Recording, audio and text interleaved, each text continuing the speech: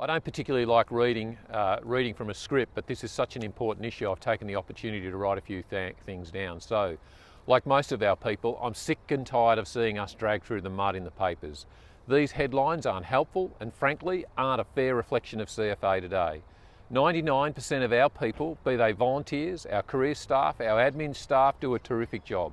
That is why I am frustrated that the focus is unfairly squared on the handful of people that aren't.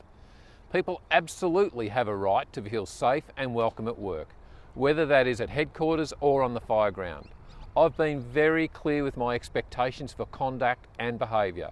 We take the welfare of all our people as a serious priority. We have made significant changes, including new leadership. We've also made a number of significant changes to our structure to put inclusion at the forefront of the organisation and our thinking and our actions. Where we need to take further action, we absolutely will. But I won't cop our terrific organisation being dragged through the mud. My focus is on the future and on growing our organisation.